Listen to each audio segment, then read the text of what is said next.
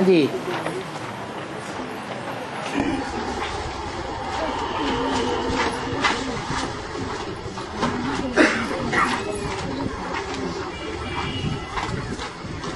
मुरली मुरली धारण पूरा कृष्ण ने किया या राम बाप ने। है? मुरली धारण पूरा कृष्ण ने किया या राम बाप ने? हम्म। क्योंकि कृष्ण को मुरली दिखाते हैं पर पूरा नरसिंह नारायण नहीं बना संगम हम्म। धारणा करने से पहले सुनना, समझना और मानना ज़रूरी है या नहीं है? है? सुनना पहले, फिर सुनने के साथ साथ समझना भी ज़रूरी है। अगर समझा नहीं है तो सुनना भी बेकार हो जाता है।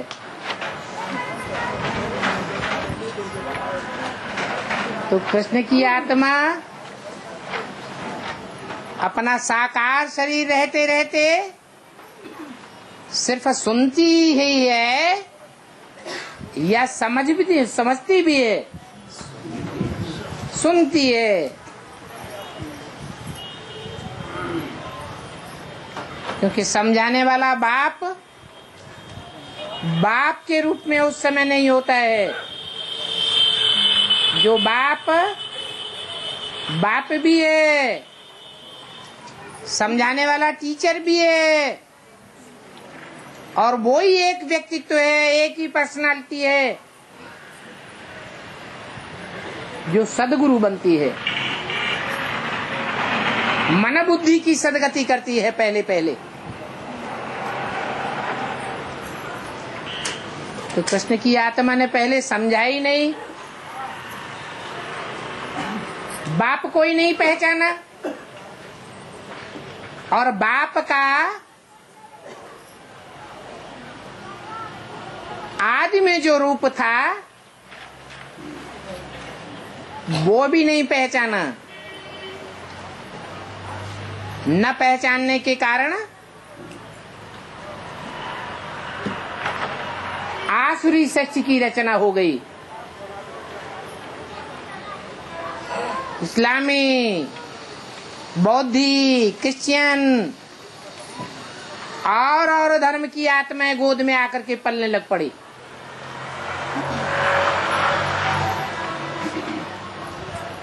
वरदान लेने लग पड़ी। और न पहचानने के कारण जो बाप के ऑलराउंड पार्ट बजाने वाले बच्चे थे, वो ब्रह्मा की पालना से दूर हो गए।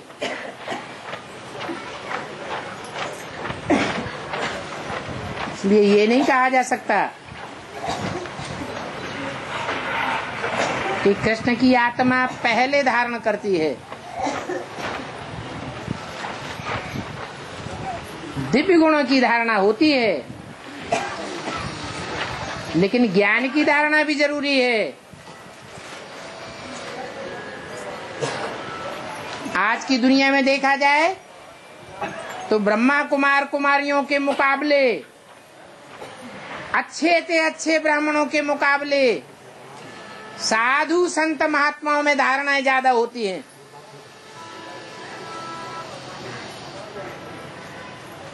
ज्ञान नहीं होता है। ज्ञान सिर्फ़ एक भगवान से आता है। और धारणा तो देवताओं से आती है।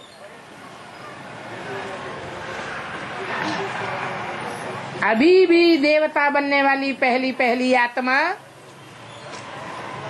ब्राह्मण बच्चों को दिव्य गुणों की धारणा की वाणी चला करके दिव्य गुणों में धारणावान बनाए रही है। परंतु ज्ञान की वाणी नहीं सुनाई सकती। और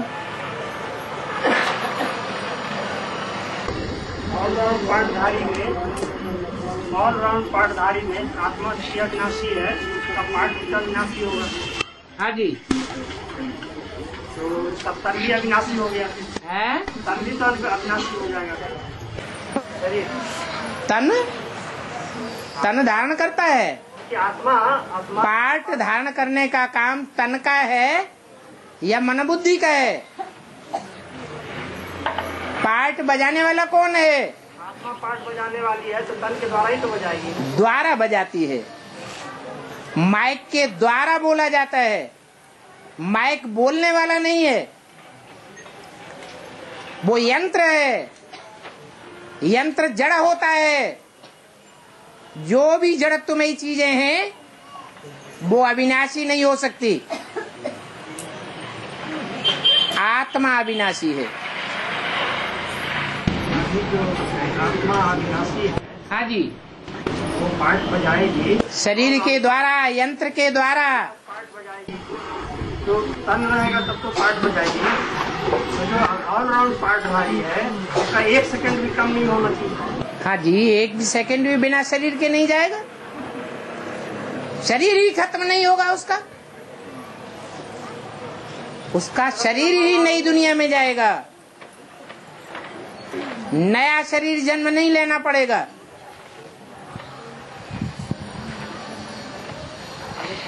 हाँ जी।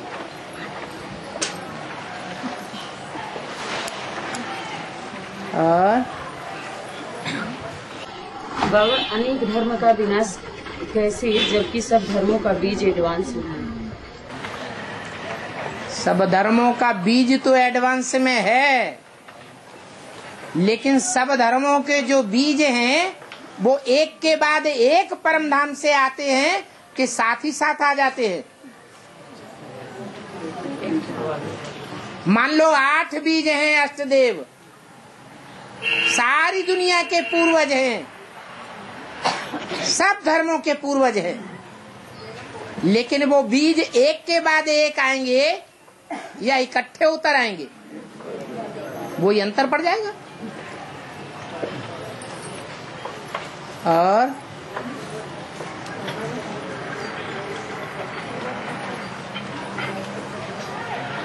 जैसे बच्चे पैदा होते हैं, जुड़वा। एक दो सेकंड का पैदा होने में अंतर पड़ता है।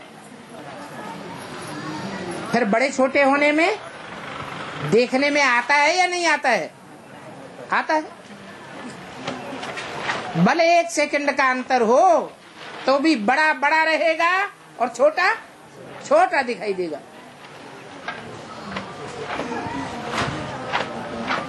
और जब सतयुग में अपना शरीर छोड़ती है तो क्या पता चलता है कि किस घर में जाकर जन्म लेंगे? यहाँ इसी दुनिया में हम सब भूल जावेंगे। सिर्फ़ आत्म की स्थिति रह जावेगी। और बाकी सारा ज्ञान भूल जावेगा सतयुग की तो बात ही छोड़ दो। अंत मते सो सोगते। तो अंत मते यहाँ होगी या सतयुग में होगी? कहा होगी? यही अंत मते हो जाएगी। यहाँ ही हम सब कुछ भूल जावेंगे तो वहाँ भी जब आवेंगे तो कोई ज्ञान बुद्धि में नहीं होगा सिर्फ़ मैं आत्मा ज्योति बिंदु बस। और माया बेटी का जन्म तिरासी है। है? माया बेटी का जन्म तिरासी है तो तिरासी है? मतलब सेकेंड नारायण। सेकेंड नारायण? ये क्या? बात समझ में नहीं आई क्या? कोई को समझ में आई हो तो बोलो भाई। माया बेटी का संगम का जिसका पार्ट चलता है माया का हाँ। तो क्या वो नौ लाख में आती है फ़र्स्ट जन्म में? माया बेटी जो है वो बाप की फ़र्स्ट जनरेशन है या सेकंड जनरेशन है? पहली पीढ़ी है षष्ठ रूपी रंगमंच पर या दूसरी पीढ़ी है? दूसरी पीढ़ी है। तो नंबर दो की चीज़ है इस्लाम धर्म। अल्लाह का स्थापन किया हुआ है अल्लाह अव्वल दिन, देवी देवता धर्म। माया का स्थापन किया हुआ है इस्लाम धर्म। जहाँ से द्वैतवादी दुनिया की शुरुआत होती है, आसुरी दुनिया की शुरुआत होती है।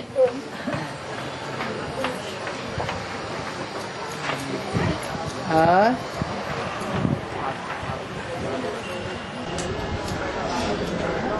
बाबा हनुमान के हाथ हनुमान जी के हाथ में गदा क्यों दिखाई जाती है? जैसे विष्णु के चार हाथों में जो श्रेष्ठ दाया हाथ है, उसमें चक्र दिखाया जाता है। वो ज्ञान का चक्र है। जहाँ ज्ञान का चक्र होता है, वो बुद्धि से काम लिया जाता है, या बिना बुद्धि के काम होता है हैं? बुद्धि से काम लिया जाता है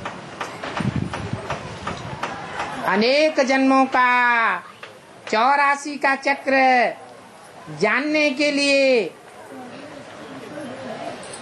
और श्रेष्ठ पार्ट को प्रत्यक्ष करने के लिए निष्कर्ष पार्टधारियों के पार्ट को साक्षात्कार कराने के लिए वो ज्ञान का चक्र घुमाना ज़रूरी है। ऐसे ही जिनमें ज्ञान नहीं है, बुद्धि उतनी तीक्ष्ण नहीं है ज्ञान का चक्र चलाने के लिए। तो सीधा सीधा गदा मारते हैं। उसमें ज्ञान की धार नहीं होती है। बना बनाया मुठ होता है। कम अकल वालों को दिखाया जाता है।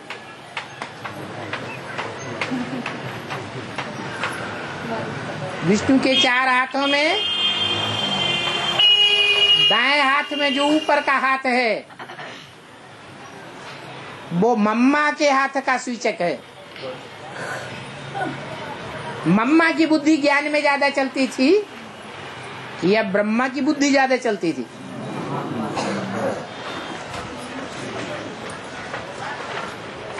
तो ज्ञान की कटारी, ज्ञान की तलवार कहो, ज्ञान का चक्र कहो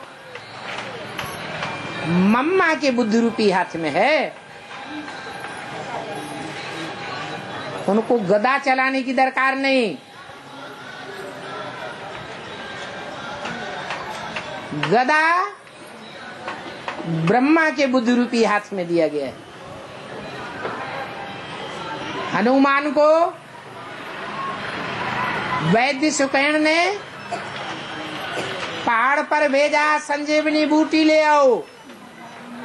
उसकी ये ये ये ये ये ये ये पहचान होती है। वो पहचान को याद रख पाया कि भूल गया? भूल गया? तो क्या वापस लौट आया? वापस नहीं लौट आया। क्या किया? सारा पहाड़ ही उखाड़ दिया ये पहलवानी की निशानी है। बुद्धिमानी की निशानी नहीं है। तो जो बुद्धिमान होते हैं, उनको साक्षात्कार की भी दरकार नहीं होती है।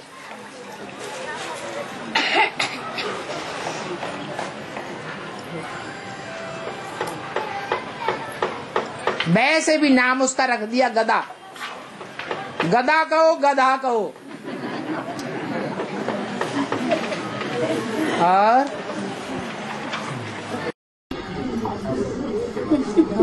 सतयुग त्रेता द्वापर कलयुग की शूटिंग हो चुकी है तो सतयुग त्रेता द्वापर और कलयुग की शूटिंग हो गई। अभी संगम युग चल रहा है। दुनिया में बहुत सी मनुष्य आत्माएँ हैं जो अभी भी कलयुग अनुभव कर रही है। और थोड़ी आत्माएँ हैं जो समझ रही हैं कि अब कलयुग अंत होने वाला है, सतयुग आने वाला है। तो उनके लिए संगम है। उस संगम में भी जिनकी बुद्धि में एडवांस ज्ञान धारण होने लगा। वो जानते हैं कि पुरुषों में उत्तम उत्तम बनने वाली आत्माएँ कौन कौन है। इस बात में उनकी बुद्धि चलने लगी। तो वो पुरुषोत्तम संगम युग में है। सतयुग में नहीं कहेंगे। उनके लिए भी स्वर्णिम सतयुग आने वाला है। सदा काल के लिए आया नहीं है।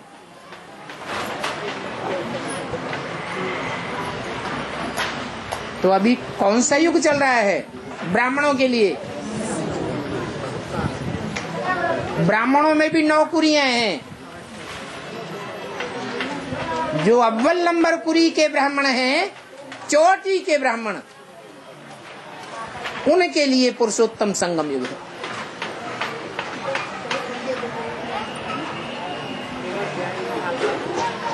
बाकी के लिए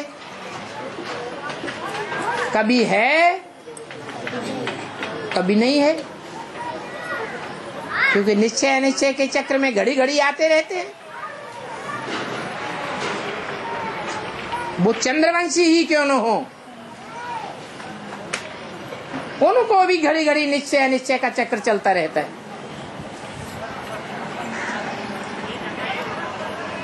और? संगम में जो तौर पर है, वो निराकार है, अगम्य होता तो जो जाना। को अगर कहा जाए, निराकारी चीज़ में जाते हैं तो उसको संगम कहा जाएगा लोग मिलते हैं, तब संगम कहा जाएगा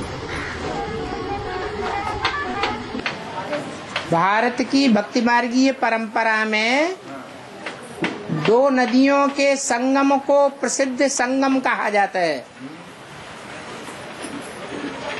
ऐसे ही दो युगों के मेल को भी संगम कहा जाता है।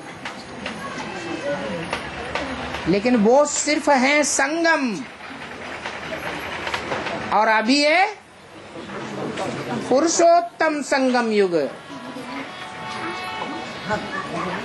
यहाँ पुरुषों में उत्तम पार्ट बजाने वाली, हीरो पार्ट बजाने वाली आत्मा, सुप्रीम सोल बाप से एकाकार होती है। और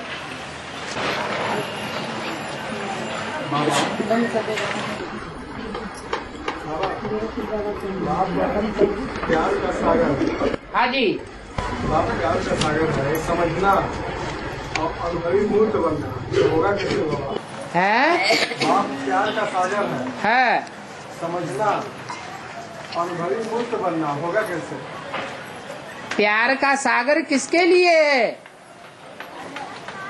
उनके लिए है जो आज्ञाकारी, वफादार फरमान बरदार ईमानदार होकर के चल रहे हैं।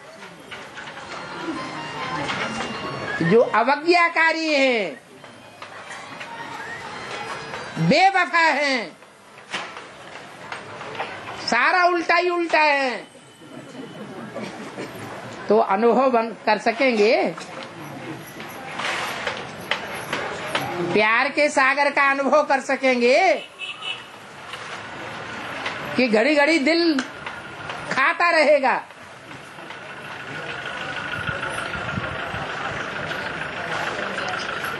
और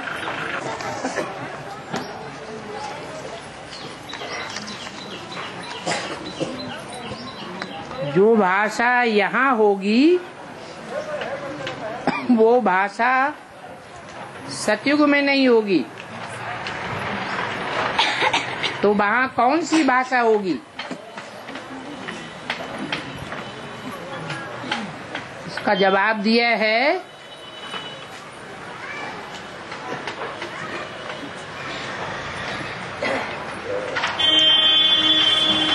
एक होती है कर्मणा, एक होती है वाचा, एक होती है मनसा। तीनों में सबसे स्थूल कौन सी है? है? मनसा स्थूल है। वाचा से स्थूल कर्मणा है। स्थूल कर्मेंद्रियों से कर्म किया जाता है। उससे सूक्ष्म वाचा है। और उससे भी सूक्ष्म मनसा है। तो देवताएँ स्मृति लब्धा होते हैं, या विस्मृति स्वरूप हैं? है? स्मृति लब्ध है, हैं। वो अति सूक्ष्म स्टेज वाले हैं। उनको वाचा की ज़रूरत है कि यहाँ संकल्प किया और जिसके प्रति संकल्प किया, वहाँ संकल्प पहुँच गया। बहुत करें तो थोड़ा सा इशारा किया। और समझने वाला? समझ गया। तो वहाँ ज़्यादा से ज़्यादा इशारे की भाषा होगी। बोलने वाली भाषा नहीं होगी। संस्कृत भाषा तो होगी ही नहीं। ये तो आर्टिफिशियल भाषा है। अगर आर्टिफिशियल भाषा न होती तो दुनिया के कोई देश में बोली जाती रोजमर्रे की बोलचाल में। कोई गाँव देखा? कोई जनपद ऐसा देखा जहाँ के लोग रोज़मर्रा की बोलचाल की भाषा में संस्कृत बोलते हो? हैं? नहीं? ये आर्टिफिशियल भाषा है। मरी हुई भाषा है। ये मृतकों की भाषा है। देवताओं की भाषा नहीं है। नाम दे दिया देववाणी। देवताओं को तो बोलने की ही दरकार नहीं होती। उनका सारा काम इशारे से चलता है। यहाँ भी बाबा ने बोला है, जो देवता वर्ण के होंगे, वो बाबा की बातें बाबा के ज्ञान की बातों को इशारे से समझेंगे। उनको घड़ी घड़ी समझाने की भी दरकार नहीं होगी। तो वहाँ ना संस्कृत भाषा होगी न हिंदी भाषा होगी, न दुनिया की कोई दूसरी भाषा होगी।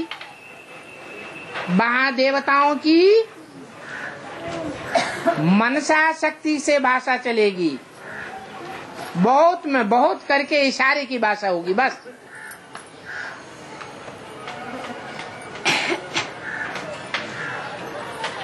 और देववाणी क्यों कह दिया गया? किसने कह दिया? समाज में प्रचलन है। है? देववाणी के रूप में क्यों कह वो किसने कह दिया? मूर्खों ने कह दिया? या भगवान ने कह दिया? अरे जो कहने वाले हैं वो कौन है? जो भी है ये कोई बात हुई? कहने वाले के ऊपर कोई निर्भरता ही नहीं है। जो बोलता है, जो कहता है, उसको देखना नहीं है, कहने वाला कौन है? कोई पागल बोलता चला जा रहा है, और वो उसने बोल दिया, अब आग लगने वाली उस आग, दुनिया में। तो हम उसकी बात पे ध्यान देंगे? देखेंगे नहीं बोलने वाला कौन है? अरे बोलो भाई।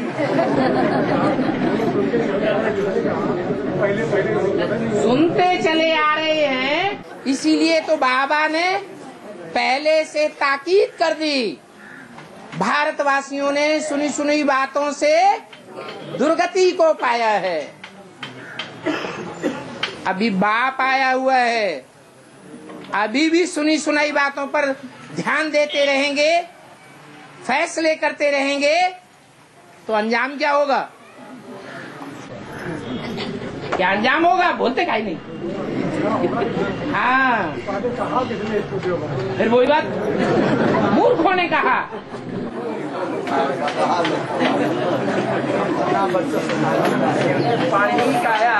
है, पाणिनि ने व्याकरण बनाया है। उस व्याकरण के आधार पर ये संस्कृत भाषा बनी है।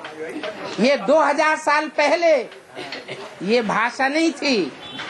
प्राकृत भाषा थी, पाली भाषा थी, जिसमें बौद्ध साहित्य लिखा गया, जिसमें जैन साहित्य लिखा गया, और उससे भी पहले वैदिक भाषा थी।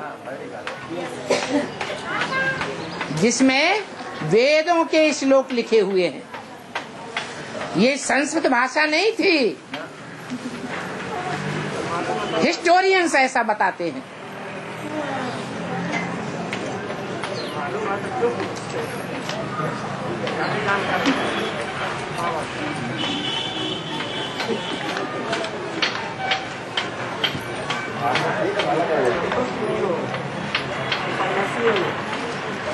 बाबा, जिस समय भट्टी की गई, उस युग की शूटिंग का भी प्रभाव प्रारब्ध पर पड़ेगा क्या?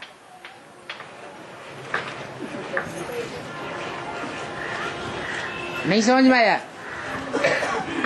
पूछने वाला पूछ रहा है, मान लो द्वापर युग की शूटिंग चल रही है, और द्वापर युग की शूटिंग में जो आत्माएँ ज्ञान में आती हैं, बाप को पहचानती हैं, क्या उस युग का प्रभाव उनके प्रारब्ध पर पड़ेगा या नहीं पड़ेगा?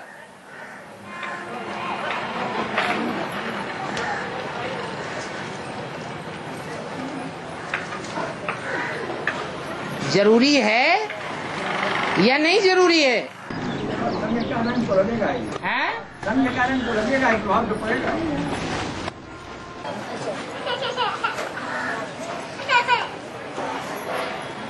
शिवलिंग में जो जल गिरता है, वो उत्तर दिशा से गिरता है। ऐसा कुछ है? है? मंदिरों के नाले उत्तर तरफ़ ही बहते हैं नाली जो है वो पश्चिम दिशा में भी होती है। और नाली पुराने मंदिर में उत्तर दिशा में भी दिखाई गई है। जैसे कंपिल का रामेश्वर मंदिर है। ऊंचाई पर। उसमें शिवलिंग से होता हुआ जो जल गिरता है, वो पश्चिम दिशा की ओर नाली दिखाई गई है। और कालेश्वर मंदिर जो है, वो उससे भी जास्ती पुराना है। उसमें उत्तर दिशा की ओर नाली दिखाई गई है।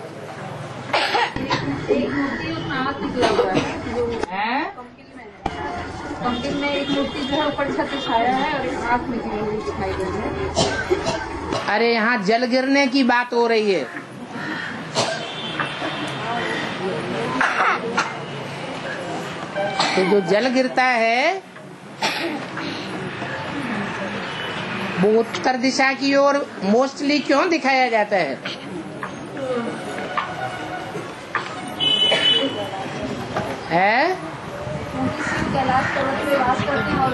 नहीं। अष्ट देवों में जो उत्तर दिशा का देवता है, मालूम है कौन है?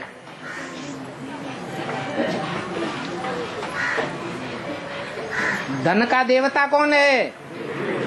है? क्या? हाँ जी तो कौन सा धन देने वाला है? ज्ञान धन। उसके ऊपर सारा निर्भर है। गंगा ज्ञान की देवी मानी जाती है। तो भी वो ज्ञान की तलवार तब बनती है जब कुबेर की नगरी काशी में आकर टकराती है, तब तलवार का रूप धारण करती है।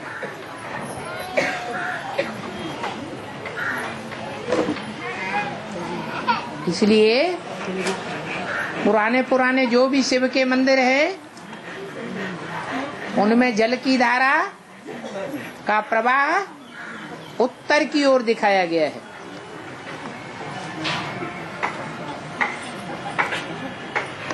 और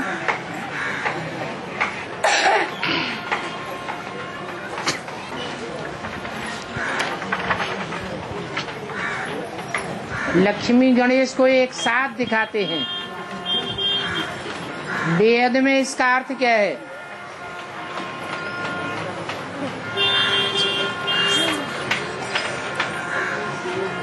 गणेश पार्वती का पुत्र कहा जाता है। क्योंकि गणेश की रचना, रचने वाला रचयिता स्वयं पार्वती को दिखाया गया है।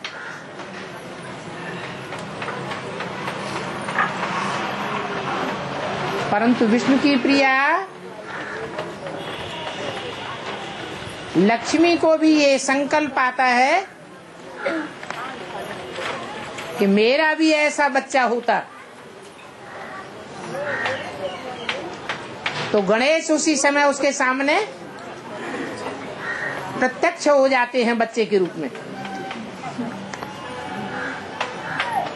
और बच्चे के रूप में तब तक ऐसी भावना रखते हैं जब तक वो लक्ष्मी संतुष्ट नहीं हो जाती। इसलिए गणेश लक्ष्मी को भी माता मानते हैं। अपनी ज्ञान के आधार पर पार्वती और लक्ष्मी कोई अलग अलग नहीं है। एक ही है। गणेश पुत्र माना जाता है। शिव भगवान है।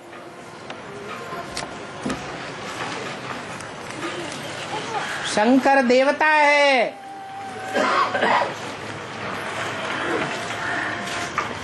शिव से देवता की रचना होती है।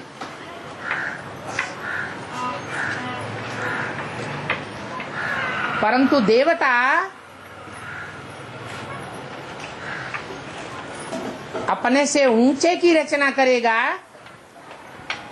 या अपने से नीची रचना करेगा। है? अपने से ऊँची रचना होती है। नीची ही रचना होगी। चौरासी जन्मों में पीढ़ी दर पीढ़ी दर पीढ़ी मानवीय सृष्टि नीचे उतरती आई है या ऊँची चढ़ी है?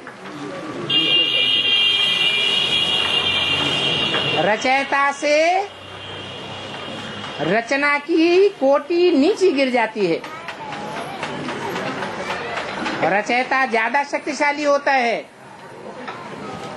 रचना कम शक्ति वाली होती है। तो भगवान बनाता है देवता।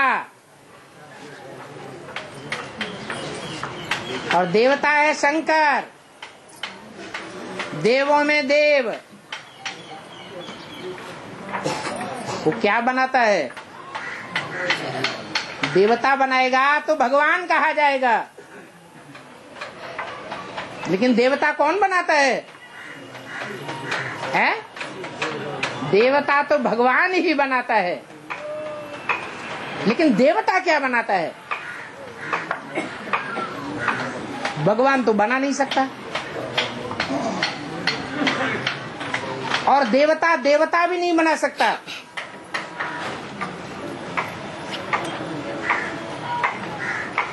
क्या बना सकता है?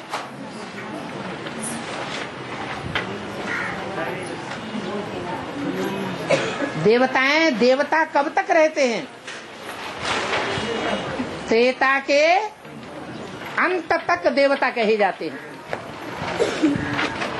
और उन देवताओं से देवताओं की रचना होती है,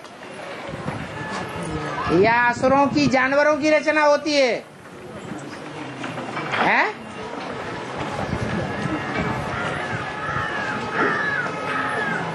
भगवान आकर के ब्रह्मा द्वारा शूद्रों को मनुष्य बनाता है, ब्राह्मण। और ब्राह्मण से तो फिर देवता बनाता है। और जो देवताओं में बड़ा देवता है, वो भगवान भी नहीं बना सकता, कोई को देवता भी नहीं बना सकता। क्या बनाता है? है? अरे नर क्या बनाता है? है? नरक बनाता है। नरक में या तो जानवर होंगे, या तो असुर होंगे। इसलिए दो तरह के पुत्र दिखाए गए हैं।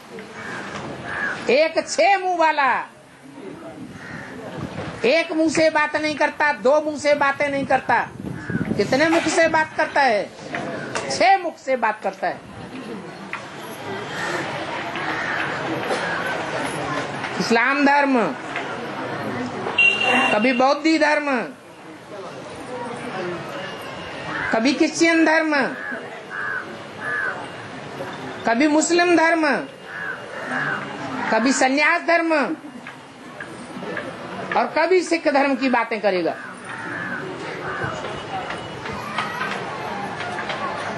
छह दिशाओं में छह मुख उसके बात कर, काम करते हैं।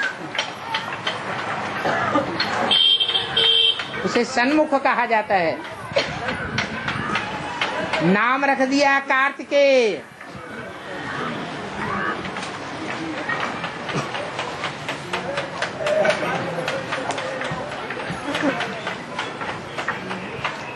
क्या करता है? हैं? तिक टिक ज़्यादा करता है।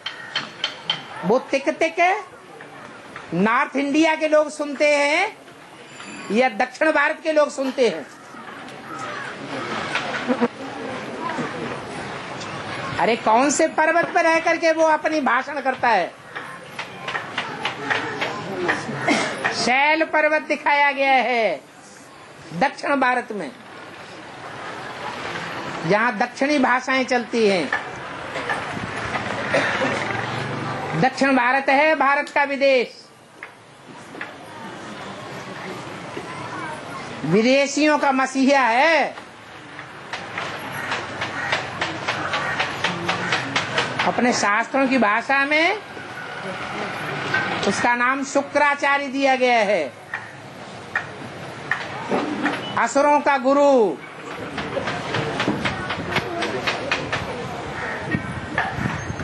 और फिर है गणेश।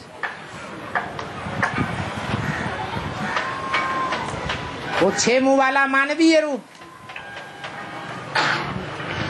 और वो मानवीय रूप भी नहीं है। गणेश। क्या है? जानवर का रूप है। दोनों ही बच्चे स्वदेशी हैं, विदेशी? क्या कहेंगे? क्यों?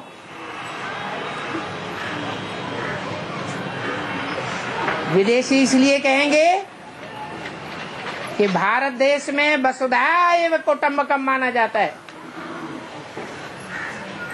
माँ बाप का परिवार ही हमारा परिवार है। परिवार में भेद पैदा नहीं होना चाहिए। दोनों बच्चे अलग जाकर के अपना स्थान जमाते हैं। माँ बाप के साथ नहीं रहते। उनके संस्कार मिलते नहीं। जैसे विदेशी धर्म वालों के संस्कार भारतीयों से नहीं मिले तो विदेशों में जाकर के अड्डा जमा लिया। भारतीय परंपराओं को छोड़ दिया ऐसे ही।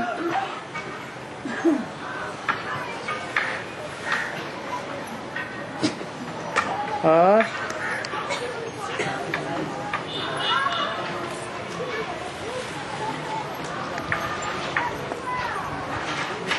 कोई ने पूछा है कि सीढ़ी की चित्र में चौरासी जन्मों की कहानी दिखाई गई है। तिरासी जन्मों की क्यों नहीं दिखाई? पचासी जन्मों की क्यों नहीं दिखाई? प्रैक्टिकल में कैसे माना जाए कि चौरासी ही जन्म होते हैं?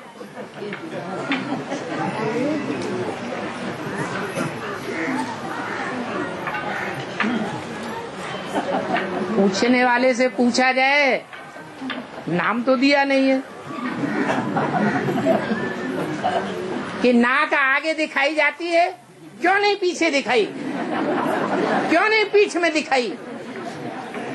पाँव के नीचे क्यों नहीं दिखाते? तो क्या जवाब देगा? बाबा भट्टी के बाद जो आत्माएँ शरीर छोड़कर बिना दृष्टि लिए चली जाती हैं। है? बिना दृष्टि पाए चली जाती हैं। हाँ जी। उस आत्मा के ऊपर इसका कुछ प्रभाव होता है।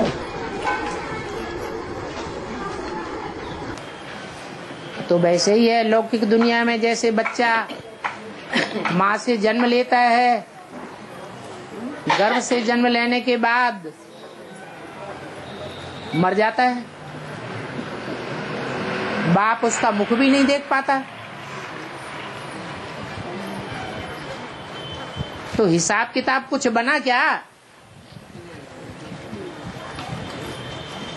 लौकिक दुनिया में तो दुख देने का हिसाब किताब बना। माँ को भी दुखी किया और बाप को भी दुखी किया। यहाँ अलौकिक दुनिया में ऐसा कोई हिसाब किताब नहीं बनता।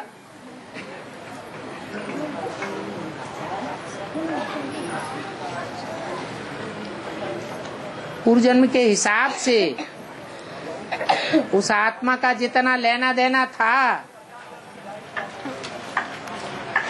वो अधूरा जन्म लेकर के लिया। बाकी वो आत्मा शरीर छोड़कर चली गई। या अनिश्चय बुद्धि होकर के चली गई। उसका इतना ही हिसाब किताब था।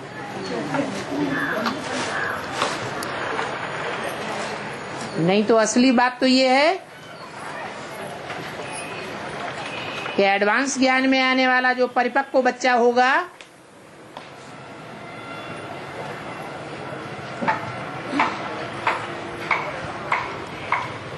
उसको शरीर छोड़ना ही नहीं चाहिए।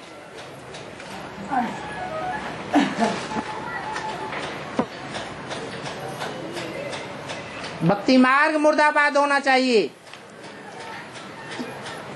ज्ञान मार्ग जिंदाबाद होना चाहिए। भक्ति का एक भी संस्कार नहीं रहना चाहिए। अगर भक्ति का कोई संस्कार 100 परसेंट प्रबल हो जाता है, तब शरीर छोड़ना पड़ता है।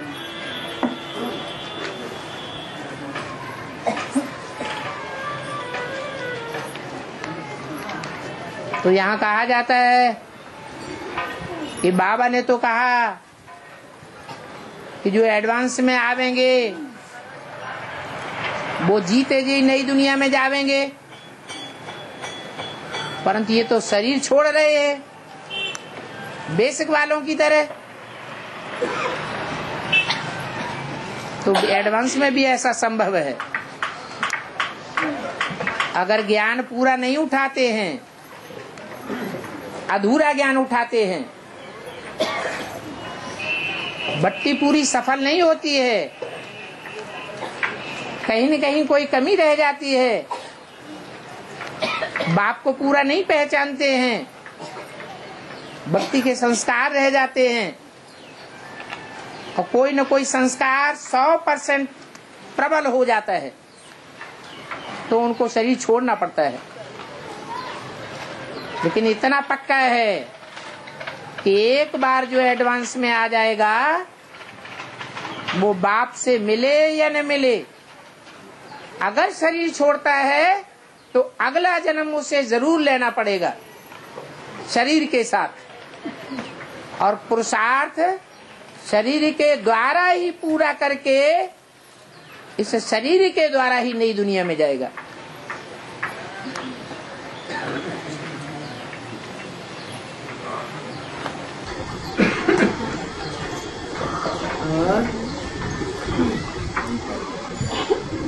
बाबा, जब मैं कैंपिंग में करने के लिए गया था तो सुबह के टाइम चार बजे जो है, ऐसे में लेटा हुआ था, छत नीचे था तो छत के नीचे पैजामा कुर्ता पहने हुए एक आदमी खड़ा हुआ और मुझसे पूछा कि क्या एडमिशन हो गया? तो मैंने कहा हाँ। और उसके बाद गायब हो गया। वह कौन था?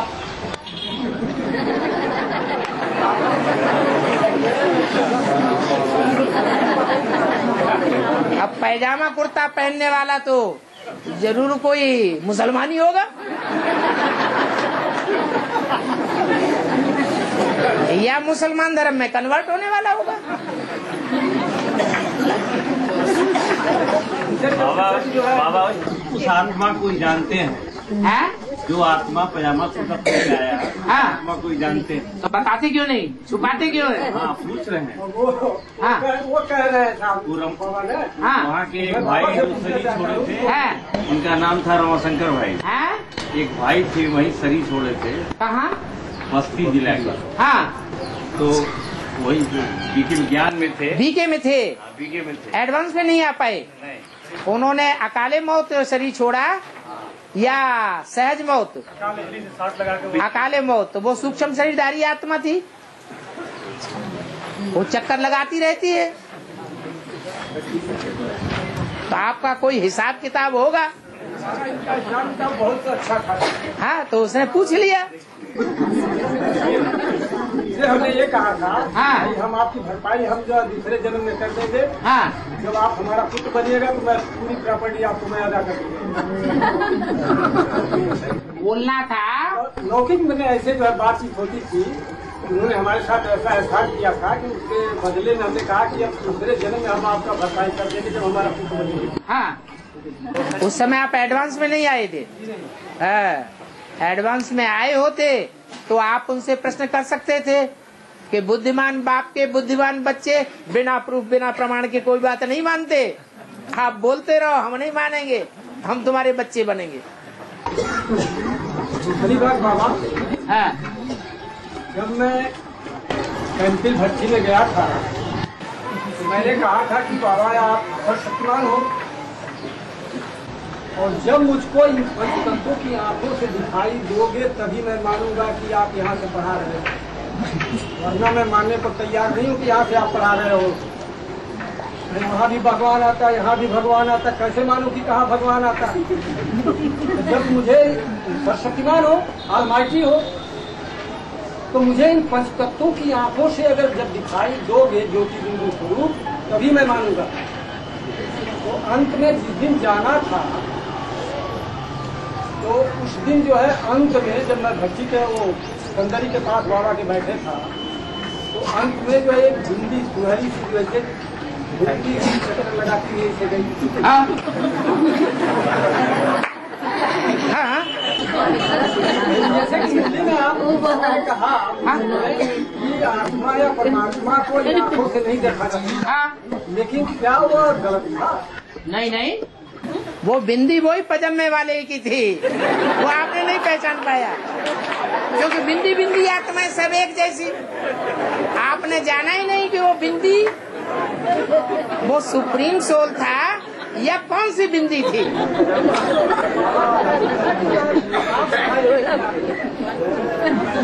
बिंदी मात्र से नहीं पहचाना जा सकता। ये सुप्रीम सोल की बिंदी है। इसलिए पूछ रहा हूँ वो पजम्मे वाली बिंदी आपको बुद्धू बना गई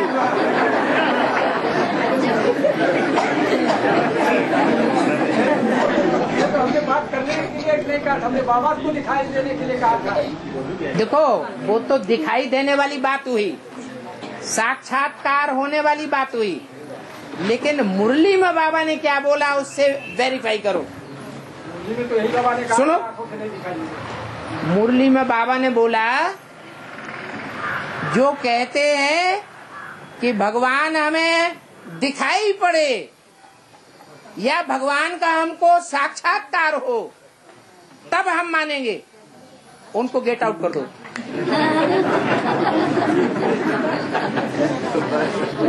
अब बताओ, हम आपको कैसे गेट आउट कर सकते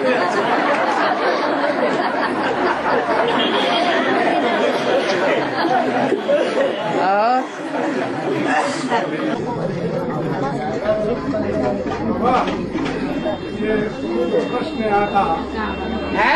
प्रश्न पहले था कि जो पानी अरे। हाँ। प्रश्न पहले आया था हाँ। कि शिवलिंग से पानी गिरते हुए उत्तर तरफ़ निकलता गिरता है उसका तो बेहद जो पश्चिम पर दिखाया गया मंदिर में उसका मिला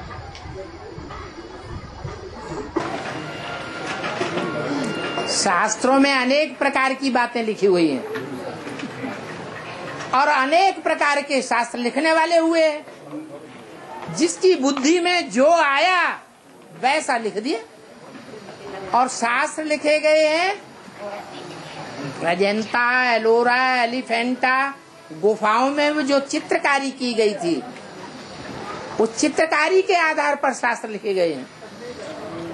वो चित्र भी अनेक प्रकार के तैयार होते गए।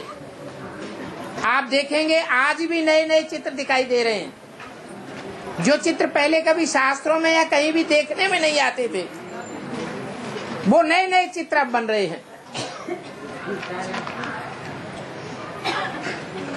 तो इस भक्ति के विस्तार का कोई आदि मध्य अंत नहीं है। तुंडे तुंडे मतिर बिंडना और इसलिए पुरानी बात को लिया जाता है। पुराने मंदिरों की बात उठाई जाती है। ओल्ड इज़ गोल्ड कहा जाता है।